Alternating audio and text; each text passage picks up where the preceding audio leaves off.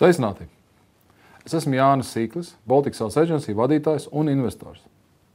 Mana kompānija dibināta 20 gadus atpakaļ, un mana kopējā pārdošanas pieredze ir 26 gadi. Aicinu jūs piedalīties savā meistarklasē, kas jāzina katrai startup komandai par tehnisko produktu un pakalpojumu pārdošanu 2017. gadā. Tās galvenās sastāvdaļas ir: pirmais, kāpēc jūsu produktam ir sekundāra nozīme, kāpēc tieši spējas pārdot ir jūsu startup lielākā vērtība, otrais, absolūti labākie mārketinga un darījuma noslēgšanas talanti ir vienīgā slēga uz jūsu veiksmi. Trešais, galvenās manas atziņas no investoru skatu punkta uz Somijas Slash 2015 un 2016 startup fórumu. Ceturtais. Galvenā novērota tendence - prezentācija vai pitch skaistuma konkursu investīciju piesaistēji un nevis biznesa modelis kā galvenā prioritāte. Piektais.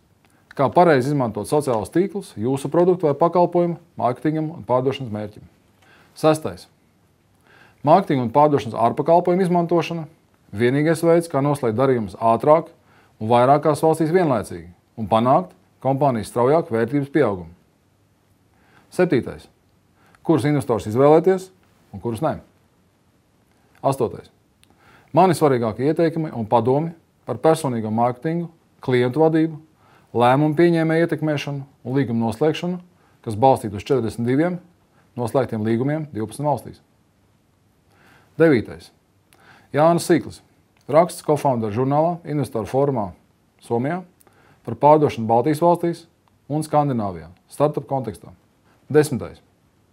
Kāpēc iesaku izskatīt iespēju nesākt ar sava produkta pārdošanu, bet kā pirmo soli komandas spēju pārbaudēji, sāciet ar jūsu pakalpojumu pārdošanu?